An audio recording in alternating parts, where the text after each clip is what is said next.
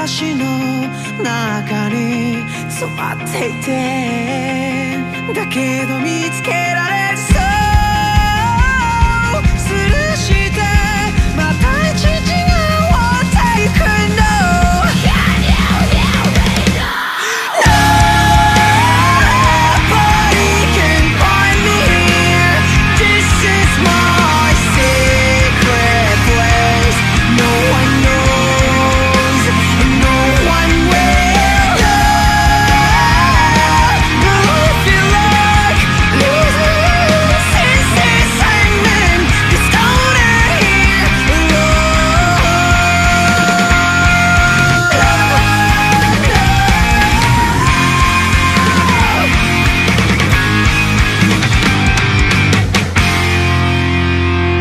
Out your own.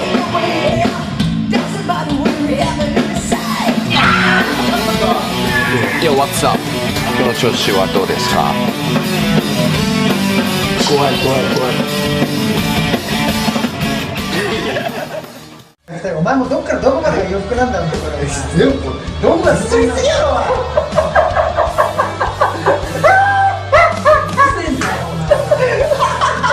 えーまあこういうさいリズム隊が作ったえー曲なんでまあがっつりうるさくかっこよくなってると思います。そうだね、えーなんでぜひですねまた今回両 A 面ですので、楽しみにしていただきたいなと思い。ます、まあ、久々の僕たちのニューシングル、えー1月に発売するのでぜひチェックしてみてください、えーなんか思い残ることないですか？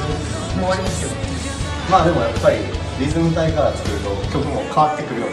変わるよね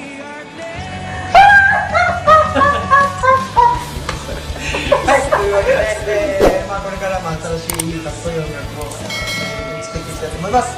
以上ワンプロジェクトでした。またね。